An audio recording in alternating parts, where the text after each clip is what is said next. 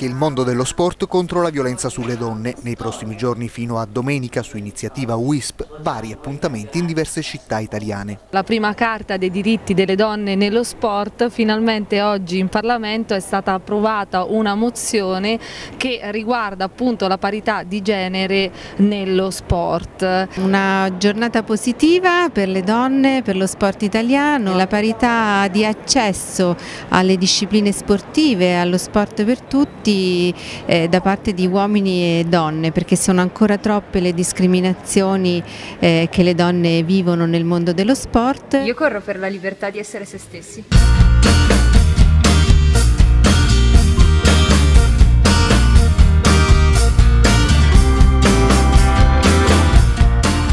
Se non c'erano le donne, il fascismo non lo si cacciava.